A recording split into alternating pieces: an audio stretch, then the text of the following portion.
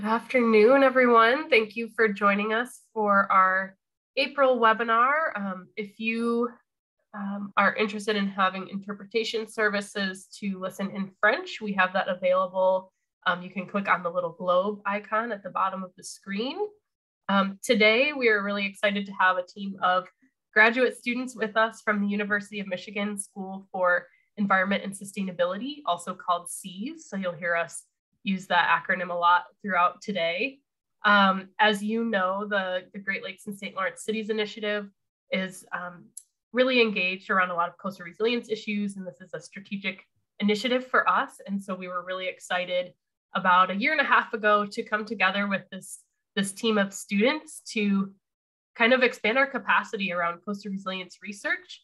And these students have been basically doing a deep dive into the landscape of coastal resilience resources over the past 16 months. So they are really sort of experts on this subject now and are very close to some of them graduating next week. Um, and we're really excited to hear their findings from their research. So just some background on kind of the University of Michigan and the SEAS program. Uh, graduate students have the opportunity to complete a master's project instead of a thesis, which is really more of a kind of real world applied sort of working and research experience where students are paired with clients. So the students came into partnership with us along with um, our partners at the NOAA Office for Coastal Management to really complete this really awesome and collaborative project. So just some background on that. Um, and then the student team is made up of six students, but we have two today that are presenting and I'll just briefly introduce them before we jump in. So today we're joined by Kat Cameron. Kat is a second year graduate student at SEAS and at the Taubman College of Urban Planning. So she's getting a dual degree in environmental policy and planning, as well as a degree in urban and regional planning. So she's got another year left at U of M. She received her undergrad in conservation biology and environmental studies from the University of Wisconsin-Madison and she actually has previously spent some time in the film industry as a lighting technician and producer, but now she focuses on assisting Great Lakes communities in creating their own stories of resilience in the face of climate change. So Kat Hills from Northern Wisconsin, is a master rain gardener and an avid bike commuter. And then also we are joined today by Andrea Payne. So Andrea is a soon to be graduate from SEAS next week with a master's in environmental policy and planning um, in addition to being a student at SEAS, Andrea is a program, program coordinator at the um, Huron River Watershed Council in Ann Arbor, Michigan, where she facilitates water quality programs, regional stormwater collaboration, and community engagement efforts. In her early career, Andrea spent time working with a number of Great Lakes organizations, including the Great Lakes Fishery Commission, NOAA's Great Lakes Environmental Research Laboratory, so GLERL, and then also at our very own Great Lakes and St. Lawrence Cities initiative. So good to have her back today. And then Andrea is a Michigan native and was born and raised along the coast of Lake Michigan in Manistee, Michigan. So welcome, Kat and Andrea. We're excited to have you today, and I'll turn it over to you to um, kick off our, our presentation. Well, hi everyone. Thank you for that introduction, Tori. Um, and also hello to all the faces that uh, or all the people that we already know or may have interviewed. Thank you for showing up. Um, as Tori just said, my name is Kat, and Andrea and I will be presenting on our research, um, an assessment of coastal resilience in the Great Lakes communities, basin-wide resources, and local efforts in response to a changing coastline. This um, project was part of a capstone project for the University of Michigan School for Environment and Sustainability, and we worked with our clients, um, the Cities Initiative, and also NOAA's Office for Coastal Management. Oh, oh, wait, has it? Okay, there we go. Sorry, if it doesn't change, please just interrupt me and let me know. Um, so a rundown of what we'll talk about today is we'll first go over the background and like what really catalyzed this research and why it's important now. And then we'll talk about what we did for 16 months of doing research, followed by the results and some of the common themes we saw. And then Andrea will finish off with recommendations that we developed. So as the largest freshwater system in the world, the Great Lakes and St. Lawrence River watershed is an essential resource that drives the cultural, ecological, and economic well-being of central Canada and the Midwestern United States. The Great Lakes are the lifeblood of the region and support nearly 40 million people. And I am proud to say that I'm from at least the Midwest um, adjacent. Um, so as we all know, they hold about a fifth of the available fresh water in the world. And we utilize the Great Lakes for their many resources, including supporting industries um, such as manufacturing, agriculture, and mining that rely on the basin's waters for shipping and transport, irrigation, and hydropower. Um, recreation and tourism are also vital to many of our cities' economies as well. However, climate change is affecting the Great Lakes more and more. The increases in storm intensity and frequency um, have caused flooding and damaged infrastructure. And climate change has the potential to greatly stress coastal communities and stretch their budgets while trying to pay for and cover the cost of repairing inadequate and then damaged coastal infrastructure. And the question is, why now? Why are we doing this research in this exact moment? Well, as many of you probably know, there were low water levels in 2013 and 2014 across the basin. And then following that, 2017 through 2020, the region experienced high precipitation and river inflow that led to record high water levels. This led to coastal flooding and erosion and damaged critical infrastructure, as, long, as well as disrupting shipping and recreational uses of the lakes. I'm sure many of you are here actually because your communities were affected by these high water levels and you have personal stories about um, the ways that you had to deal with them. There are many consequences that came out of these high water levels. There is now a huge amount of interest in tackling these issues and political interest is peaking as well as responses from agencies and organizations across the basin. However, we know that there's a short period of time and will these people, will people be as interested in dealing in, with coastal resiliency about 10 years from now? We don't know, which creates a problem of urgency. Private landowners want to protect their homes and their properties, and municipalities also want to protect infrastructure and maintain the public space along shorelines. And we can't be for sure what we can't be sure of what future water cycles will look like and will look like, and we'll need to act now before it fluctuates again. And finally, there's been an inpouring of resources, um, both funding and informational, while people are trying to do this work. Capacity building organizations are creating toolkits and holding webinars. And there's new funding as well, such as New York's uh, Coastal Lakeshore Economy and Resilience Initiative or CLEAR initiative, that came about from these high water levels. However, there are obvious challenges to this. There are, because of all this new information that's come about, there's not a lot of coordination between uh, organizations and different sectors. So people are doing a lot of work, but it might be duplicative and it could be focused more to create fewer resources so people knew which to use. And finally, there's a short period of time while people are interested. This excitement wants like pushes everyone to get to work and to have an impact. However, this also means um, that we only have a short period of time to capture political, like politicians and residents' interests before they're no longer interested in putting time or tax dollars into this effort. And finally, in the urgencies, um, in the urgency to do this work, we also have to remember that this hasn't, we haven't always included everyone at the table. And we need to make sure that we're not just bouncing back from climate impacts, but we're actually bouncing forward and considering equity and everyone's impacts. To address this, we developed three objectives. Compile and assess existing coastal resiliency information and resources and funding opportunities. Two, identify enabling and constraining factors and how equity is a, enabling constraining factors of local resilience work in the Great Lakes and St. Lawrence Basin and make recommendations to local governments and Great Lakes practitioners for how to effectively and collaboratively advance future coastal resilience work. And now Andrea will explain how we started that work. Hello, everyone. So I'll be diving into the process and results from our first objective, which is to compile and assess coastal resiliency informational resources and funding. So I'll first dive into our resource library and analysis. So our goals in the resource compilation was to understand the ecosystem of current resources available on coastal resilience to support local action and projects. And then additionally, we wanted to identify gaps and needs to inform future resource development by what we will be calling resource providers. And that includes our clients, the Great Lakes St. Lawrence Cities Initiative and the NOAA Office for Coastal Management. And the outcome of this work was a library of informational, educational, and data resources related to climate adaptation, flood mitigation, coastal resilience, and many more topics.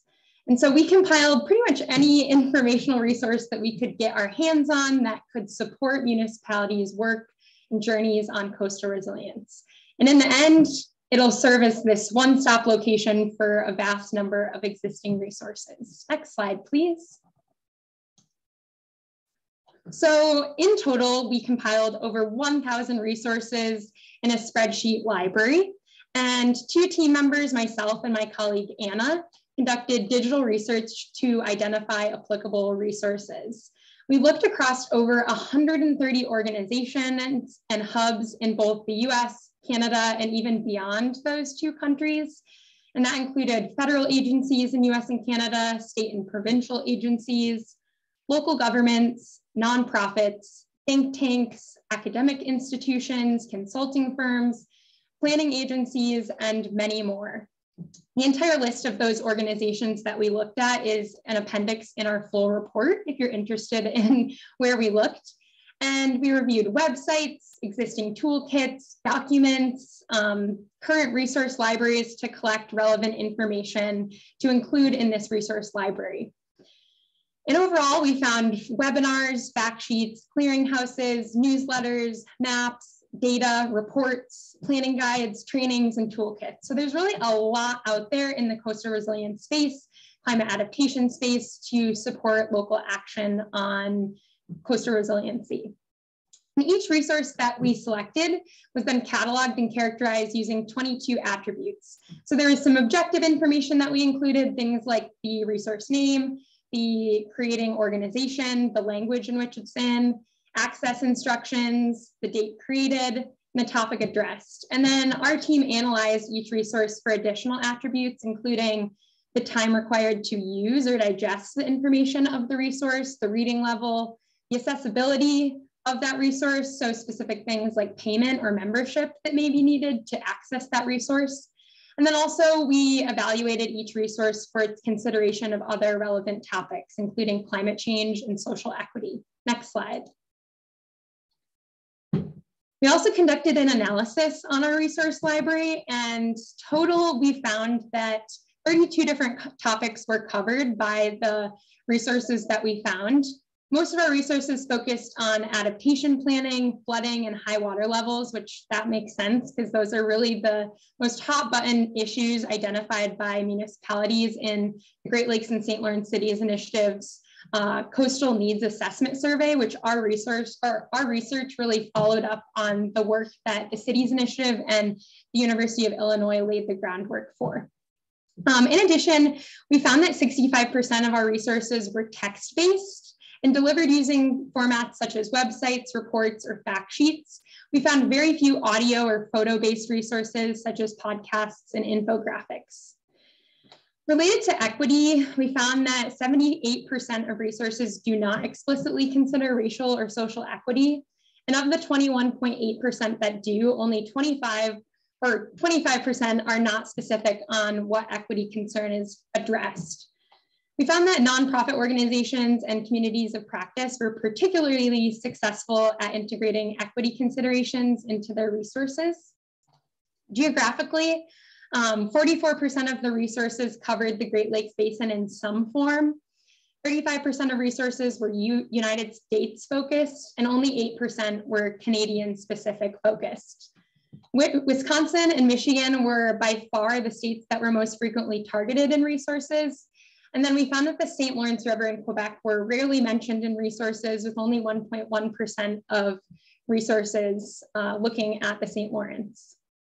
Um, for the resource creators, most of the resources were created by the federal government and then followed by states and provinces producing 19% and then collaboratives producing 17%.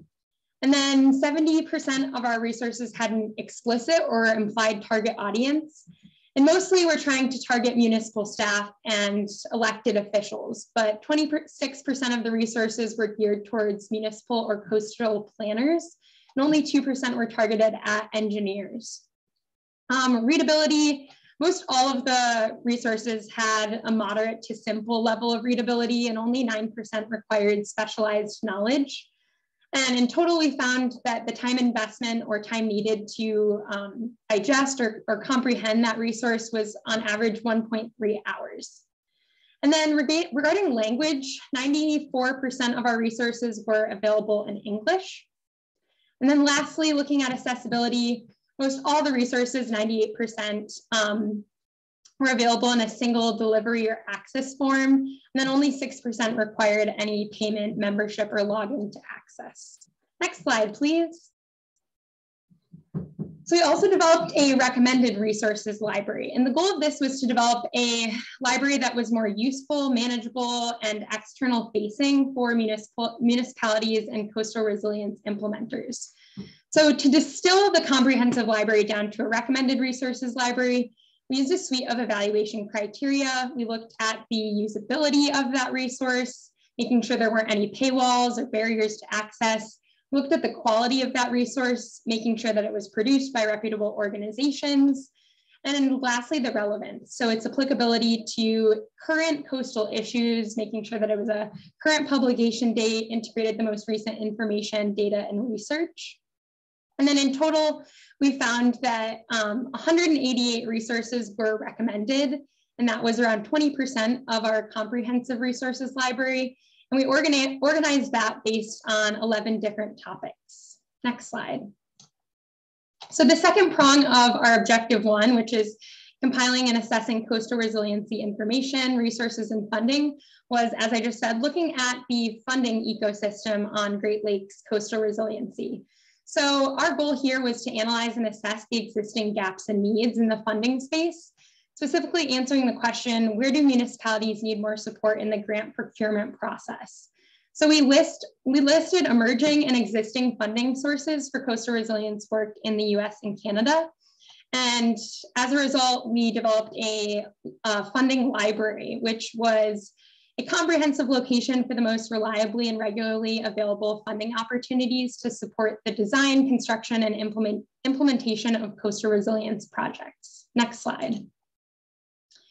In total, we found 130 funding opportunities and compared to the resource library, we took a much more selective approach here rather than the comprehensive approach we took with the resource library. We really wanted to emphasize current opportunities from 27 or 2019 to 2021 fiscal years and include only the most up-to-date information because um, we know funding priorities and application processes regularly change. Um, and we also prioritized well-established programs that routinely offer funding. And then as an overview, each resource that we found was cataloged and characterized using different 45 attributes Similar to the resources library, we looked at the geographic region covered, the topic addressed, the time and investment required, and then we also looked at many other attributes, including total appropriated funds, any match requirements, and eligibility. Next slide. And here's some of our main takeaways from that analysis of the funding library. We didn't do a quantitative analysis similar to the resources library because we did use a more selective approach. Um, but we did use, we did conduct a qualitative analysis to develop practical information and tools on funding, including points of contact, application requirements, database URLs, and pilot projects. So some of our takeaways are that the term resilience is rarely used when advertising grants and that this term is not widespread in the funding ecosystem yet. We also identified that funding availability varies based on where you are. So there are massive state and provincial discrepancies based on politics and state taxes. And then on a federal level, we found that most funding for coastal resilience comes from the Great Lakes Restoration Initiative in the United States. And then we also found a lot of challenges with operating and accessing funding from the Federal Emergency Management Agency. A few last takeaways from our funding analysis was that partnerships and relationships are key and that working with partner organization is really helpful in easing grant administration burdens. And stewarding relationships throughout the funding process is really important.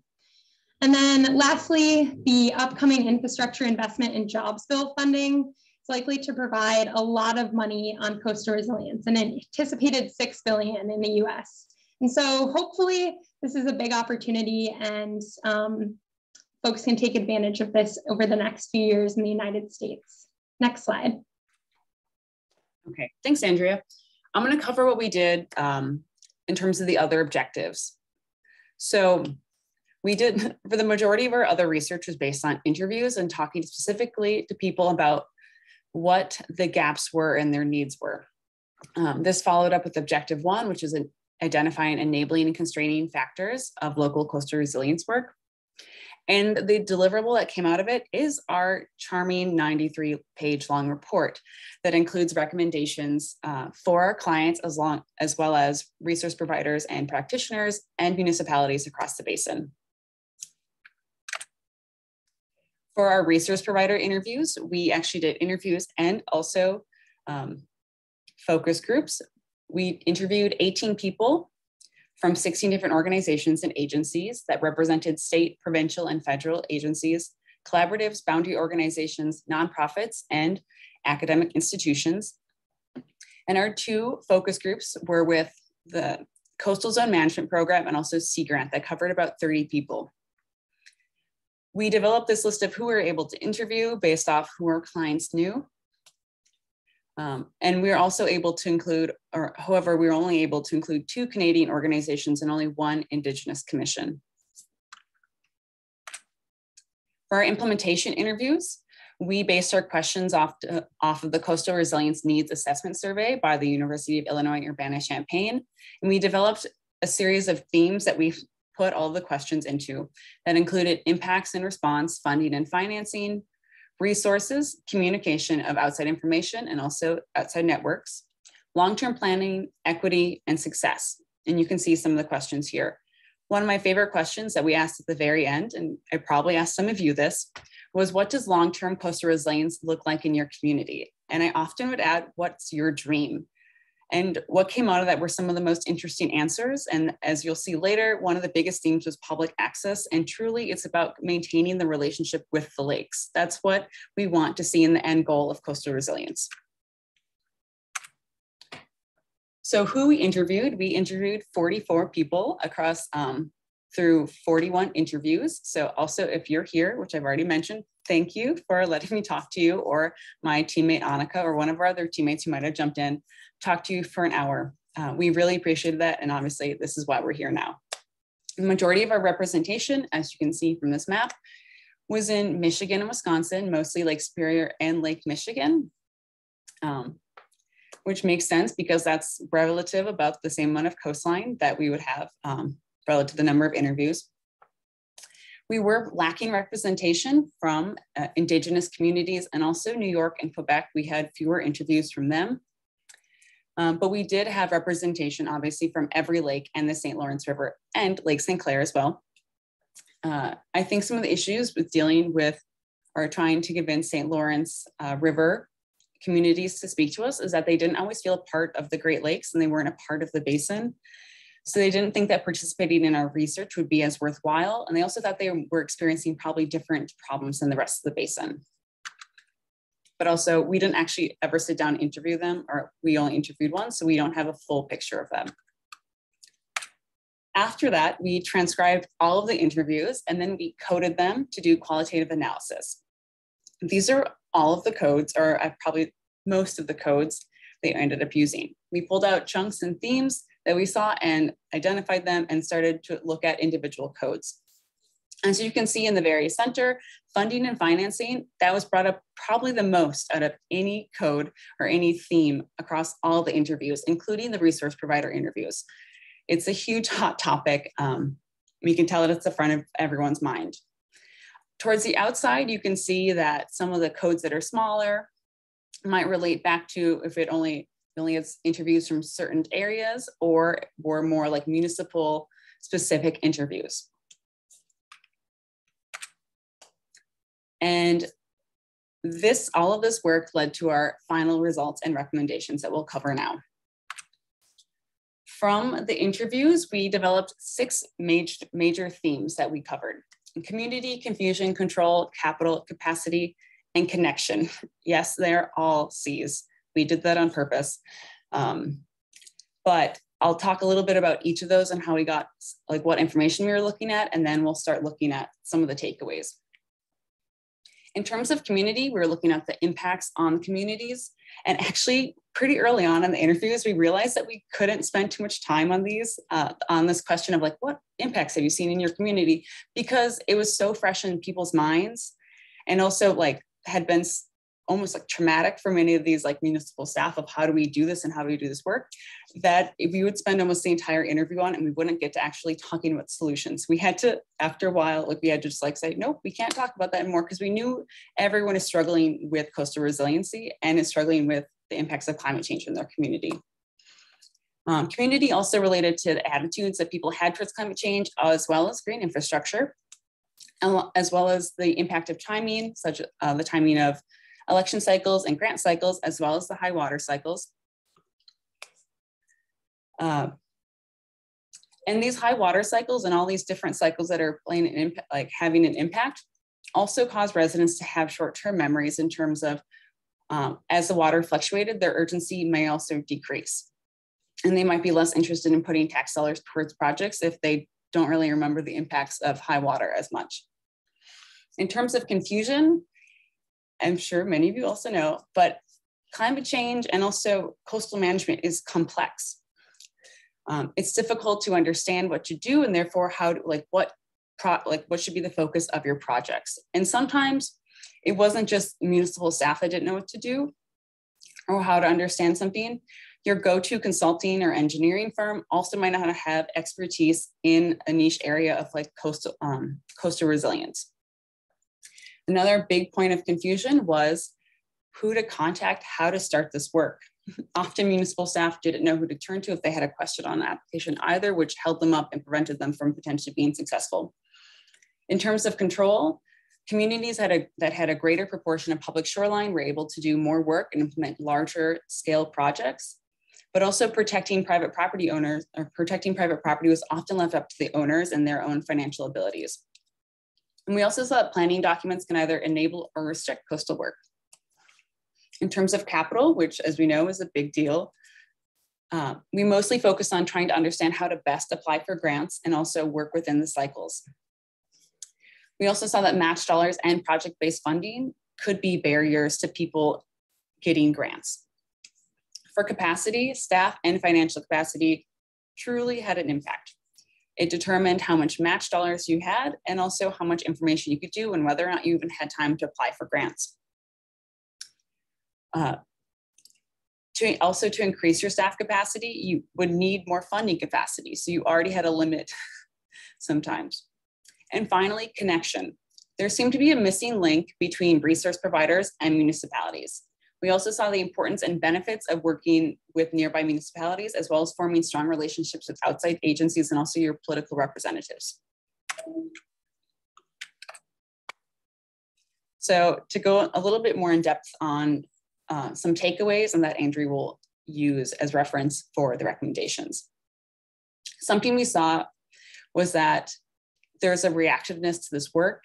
When the high water goes up, it freaks people out and you want to do something and it doesn't emphasize the long-term and value-based approach that would be that, that would have more sustainable outcomes. Also this reactiveness sort of leans into hard um, hardening your shorelines instead of thinking of more nature-based solutions. And people don't always understand that those hardened shorelines actually have impacts on neighboring communities as well or just your neighbors. Uh, this prevented or municipalities were prevented from making long-term plans due to also to the short-term memories of residents. Information is siloed across different agencies. As I said, sometimes the work is duplicative or it could be more focused. There's little communication of what's going on. We heard from our interviews how many other agencies and organizations were doing similar work on coastal resilience. And I actually just sat in an, in an interview a week ago and I heard that a different organization was doing very similar work to what we had done and what I had heard many other people had also done. So it's happening in many ways. It's just we could be concentrating the effort potentially. There is an overwhelming amount of information. Clearly, over a thousand resources is a lot. And how do we pick out what's going to be best and most applicable for what the work you want to do? You also uh, want to save time and not waste too much time going through things. As Andrea said, there's it's about one over an hour to go through a single resource, and we want to, uh, or we saw that municipalities really struggled with trying to figure out what was most applicable, relevant, and usable. Capacity was also a huge thing. Capacity was a theme that we pulled out nearly immediately in the interviews. It's evidence that even well-intentioned staff struggled to find the time to sift through resources and apply for grants. And whether a municipality has one full-time staff member or a whole engineering and planning department, staff never felt like they had enough time to properly address resiliency planning and the work that they needed to do. Other takeaways were um, this missing middle person there seemed to be this gap between resource providers and funders who had the information and who had the money and the municipalities that desperately needed it. Um, and it, there's actually a quote from some one of the one of the scholarly, scholarly articles that we looked at that says that having a connection or a missing middle person is almost as important as the physical and engineering solutions to coastal hazards. They're truly a vital part of what the work we need to do. In terms of funding, having a grant writer on staff increased the ability of a municipality to have successful grant applications. Um, but simply just having knowledge in grants really improved that as well. It was recommended that you identify your community sweet spot, which would be a manageable award amount, uh, relevant project type, and alignment with goals and needs for your project. This reduced the effort of applying to multiple grants and focused on the ones that be, they'd be most likely successful at. Another big takeaway was that relationships matter. Sorry. Intermunicipal relationships, such as sharing knowledge between staff, but also between departments within a single municipality, but also across boundaries and talking to your neighbors as well. You're able, not only can you share information, but you can also potentially split um, costs for a project. Uh, Fostering relationships with agency staff also increase successful project planning and implementation, and even having a relationship with your government representative matters. Showing them that you how your shoreline was impacted might not get you immediate results, but then they'd be, or you would be in their mind when they went to go tackle these issues. And they might keep you up to date on new funding sources that are coming in or advocate for you. And finally, another takeaway that we saw was equity. There seemed to be an equity disconnect municipalities could identify people that would be vulnerable, whether it be property owners or um, indigenous communities, but they didn't automatically see it as an equity issue. Um, and I don't know, or we didn't decide if that was due to, to equity be usually being usually referred to as like a racial like problem or related to race rather than seeing the vast array of people that could be vulnerable and how that relates to equity. And I'm going to pass it off to Andrea for the recommendations. Thanks, Kat. So based on the outcomes of objectives one and two, or our interviews, resource analysis, and funding analysis, we developed recommendations to satisfy our third objective. And as a reminder, our objective three is to recommend strategies for effective and collaborative coastal resilience work. So along the top in the dark blue boxes, you will find the primary challenges which Kat mentioned as part of our results. And then below in the gray boxes, you will find a few key recommendations aimed at tackling that challenge. We do have many more recommendations, but obviously could not fit them all on this slide. So certainly check out our report to get the full picture of the suite of recommendations. So starting on the left-hand side, um, we recommend that municipalities embody the long-term view on coastal resilience, despite changes in politics and water levels. So that includes conducting long-term coastal planning and monitoring, identifying and prioritizing potential coastal projects, and including those projects in capital improvement plans, and also developing shovel-ready designs so that you can be ready to go when a funding or grant opportunity arises. Moving towards the middle, we recommend all stakeholders more actively work to cultivate binational basin-wide communication, relationship building, and information sharing. And that includes proactively fostering relationships and establishing lines of two-way communication before situations arise. Very common theme in our interviews was that municipalities felt like resource providers should be contacting them and resource providers felt that municipalities should be talking to them. So it was very much like a who's on first situation and pointing of fingers. So having those two-way lines of communication and establishing those relationships before high water level events is really important to us, we feel. In addition, establishing a designated staff person at a resource provider organization to serve as that missing middle person that Kat identified. And that person would serve as the conduit or liaison between municipalities and other organizations or levels of government. And lastly, this recommendation includes holding a, recommend, a regular sub-basin or basin-wide summit or conference to synergize efforts among localities and share successes and challenges. And then moving on to the right-hand side, we recommend resource providers identify a primary hub for coastal resilience resources and build the capacity of existing sub-hubs. And underneath that recommendation, we uh, recommend that resource providers identify one organization to host, manage, and update a centralized resources hub, that they improve the usability and searchability of hubs, that they consult with target users during resource development and evaluation, and that they conduct social research to understand current and potential uses of resources and hubs. Next slide, please. So starting on the left-hand side, uh, we recommend educating coastal communities about coastal and climate processes and potential resilient solutions. So both local governments as well as residents. And that includes for municipalities engaging residents in coastal planning to ensure solutions are relevant and broadly supported by your community and members of the public. For resource providers, that means establishing a grassroots stewardship program to cultivate on the ground local champions and maintain momentum towards coastal resilience on all properties.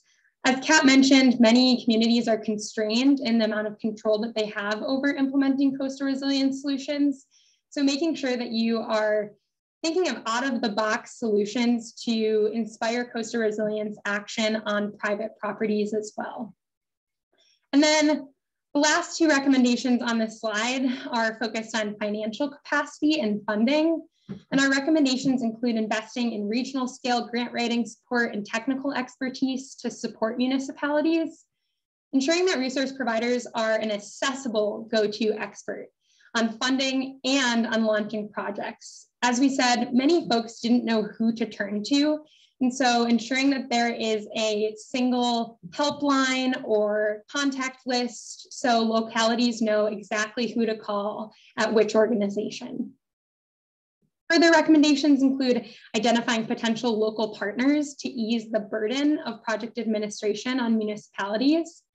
And then also on a larger funding structural level, that includes removing barriers to improve accessibility to funding and financing. And more explicitly, that means more heavily weighting applications from disadvantaged communities or applications that integrate social equity considerations. That also means widening grant avail availability and eligibility. Then lastly, that means removing match and other cost sharing requirements for disadvantaged communities. Next slide. So our last suite of recommendations eh, are related to the integration of equity in coastal resilience work. And we recommend that all resource providers embody a basin-wide view. So thinking more on an ecosystem scale rather than on an organization scale. So that includes thinking beyond your own organization's geographic scope or membership when developing resources.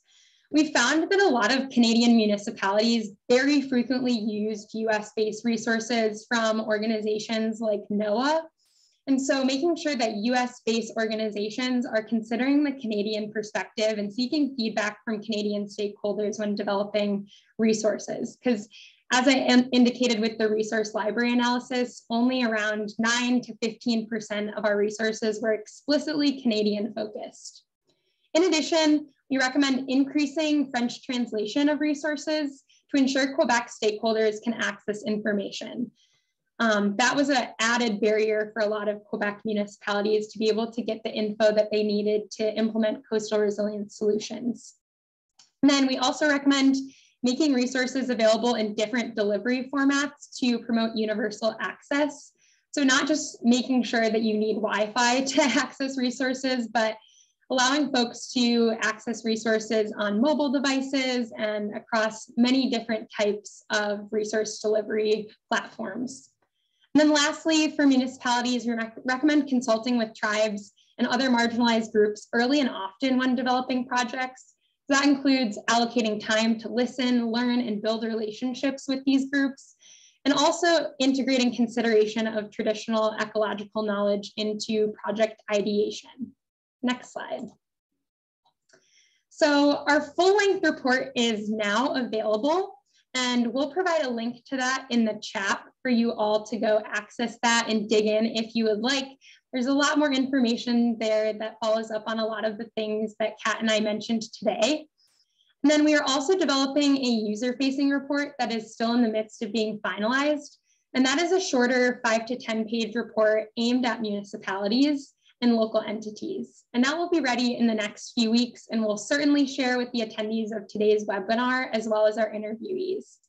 And then lastly, our permanent home for the resources and funding libraries are still being determined by our clients. But if you are interested in either of those libraries now, please contact Kat and myself and um, we'd be happy to share that with you. Last slide. Thank you all so much for listening today. It was a pleasure to share our research with you all. And at this time, we'll take any questions that you have.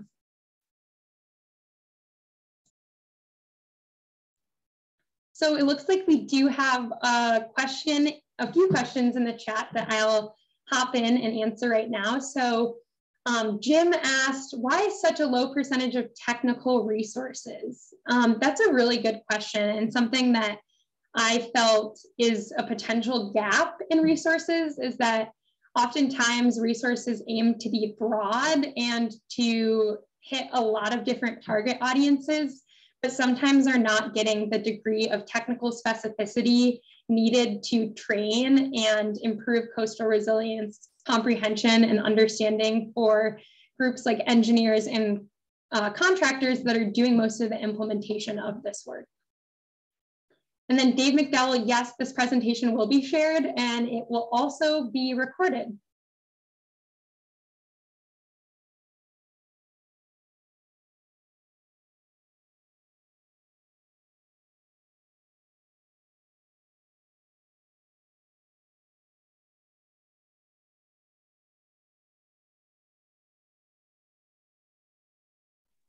Mindy, I see you have a question. Hey, thank you. Um, this was a great run through. At times, I have to admit, you know, um, it brought back a little trauma of just being two years into a municipal career, and you brought out some things that were really stressful. Um, and so, I just want to point out um, the recommendation to engage the public and the community more around coastal resiliency planning. It seems counter to the fact that we don't have capacity and we don't have funding. So, how do we engage the public? When we go out and engage with the public, and we start to make plans i think it's a reasonable expectation of them to think that oh yeah that's what the city's going to work on and i'm going to see progress. When that progress doesn't happen due to the lack of capacity and the lack of funding we lose trust and um, support. And so it's, it's really difficult for me to see you know the recommendations and one of them to be go out and engage your community and coastal resiliency planning. It's like well we don't have the money and capacity to get everything done we're going to disappoint a bunch of people and then that makes our jobs harder so i don't know how to solve that but maybe that's an idea you could kick around in your recommendations or future work um, just want to put that out there but this was uh, a very enjoyable hour to hear how many people you talk to the I guess I've you know pursued maybe a dozen of those 188 resources. You know, I got a lot of work to do. So uh, just really thank you. This was really an interesting hour. Thank you so much, Mindy. Um, I'll hop in first and then Kat can add on. So that second recommendation for the engaging the community is for the resource provider organizations, so not the communities, to launch this sort of train the trainer model on uh, coastal stewardship. So this model exists already for inland lakes across the Great Lakes Basin and Midwest. And so we're encouraging these organizations to develop a similar model for coastal management. And so hopefully that sort of a model would actually cultivate local champions who could do a lot of that on the ground work on behalf of the communities and serve as those uh, community-based experts so that the localities are not having to be the point people all the time, nor are the resource providers. So it's really a means of establishing a coastal resilience culture at all levels. Um, Kat, if you have anything else to add, please chime in. I guess I first want to say I'm sorry if that just dug up a lot of like painful memories. It it truly, like I said in the beginning, we had to actually stop like letting people talk so much about the impacts because I could tell that people were just so um, it, it was overwhelming and exhausting and probably still is. So I guess I don't have much to add besides that I don't think that always engaging with your community has to show that you are like working towards a project. Obviously, you have far more experience in, in municipalities than I do since I'm still a graduate student. But I think, as Andrea just said, creating this idea of like um, having coastal resilience be a thing in people's minds at all times and when they're making decisions. So when that does come up again, they aren't surprised and say, oh, wow, high water, how did that happen? And they actually remember how to act and what to do and we'll support funding if it comes up in the future. But also, as we know, there's a short period of time for which they'll be truly interested. So thank you for that question.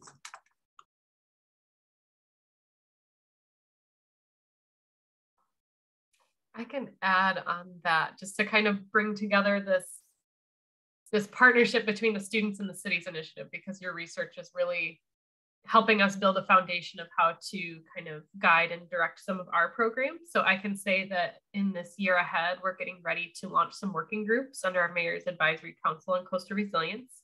Um, one of those groups will be looking at kind of these uh, interplay between public entities and private homeowners or landowners. And we're hoping to kind of look at some case studies to see how communities are successfully doing that because we understand that that is still a big challenge, um, kind of more so anecdotally that we've heard on our end from many of our member cities.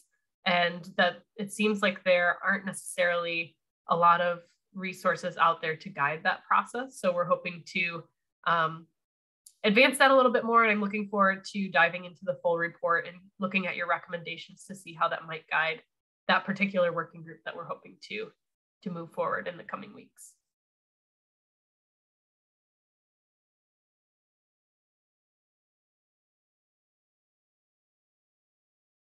Bridget, you have a question.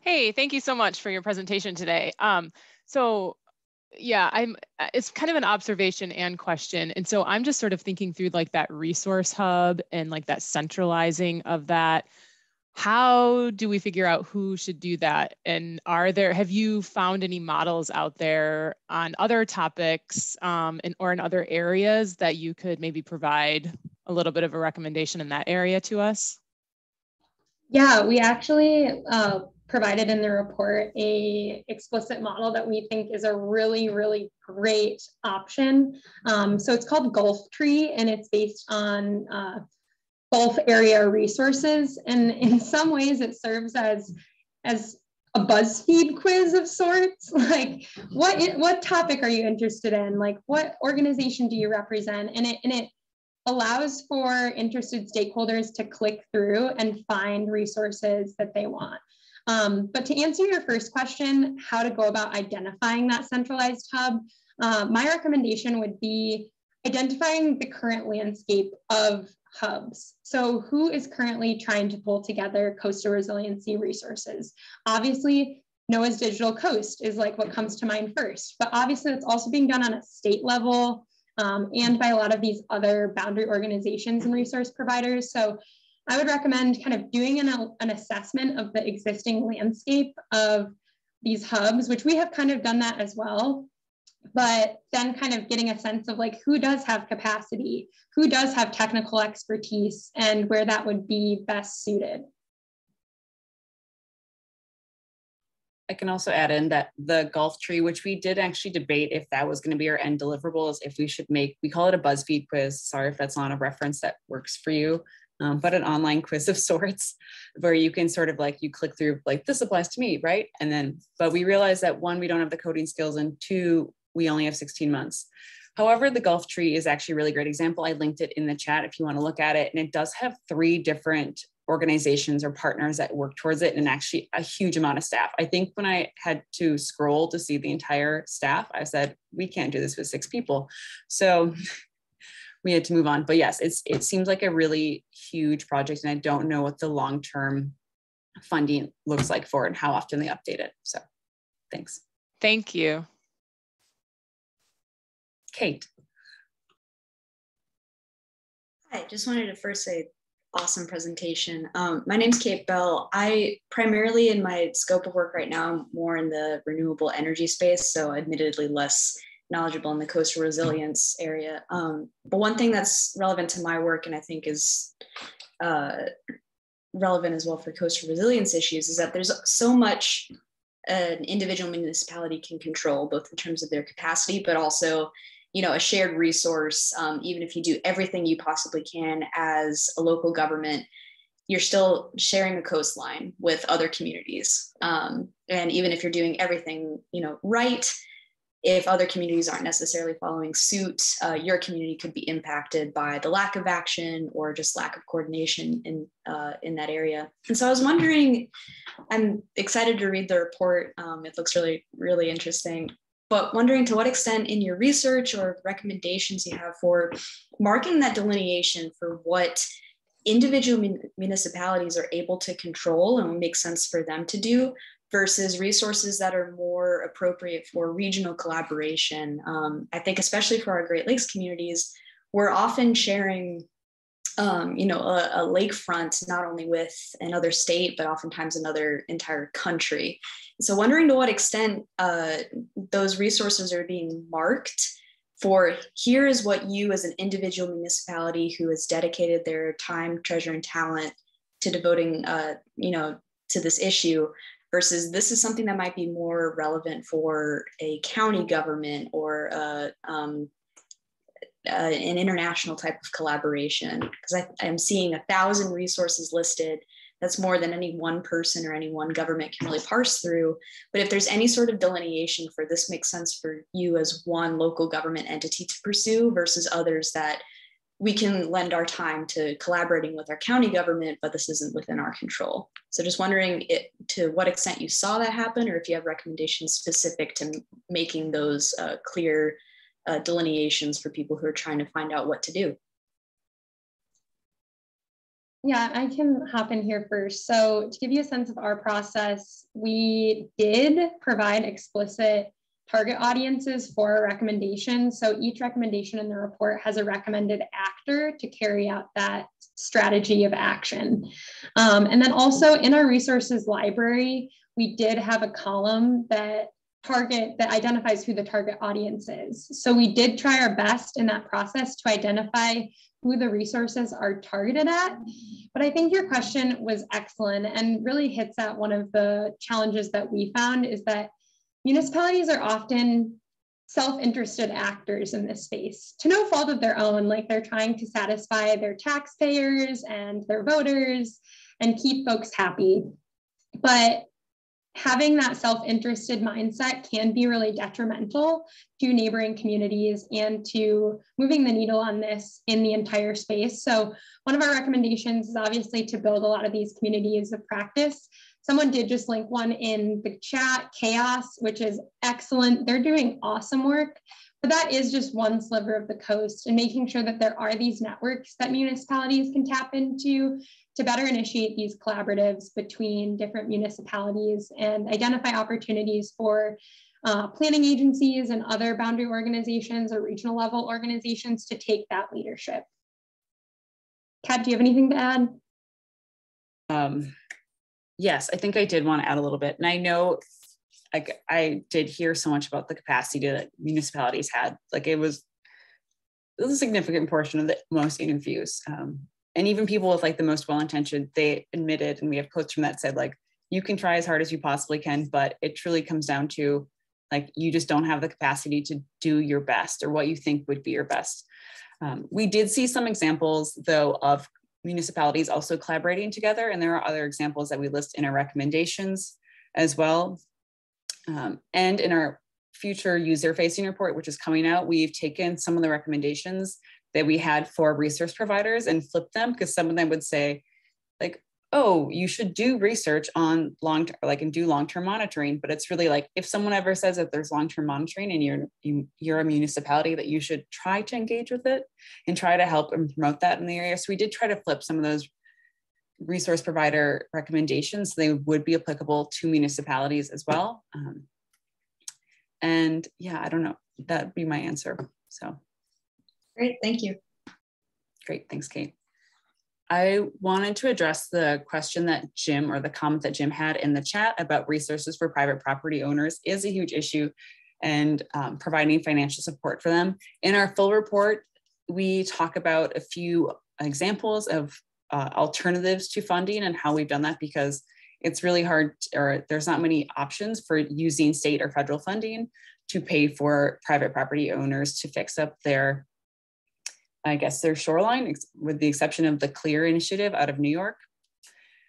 However, um, we did have examples of how municipalities had worked together to form special improvement districts so they could actually take on loans that were shared across multiple municipalities, like upwards of over 10, to take on those million multi-million dollar loans to pay for people's uh, i guess softening or hardening of their shorelines or protecting them as well and i think we have another example and there's probably been many other webinars put on by noaa and also the cities initiative of examples that other um, municipalities had have done or used to find funding so yeah thank you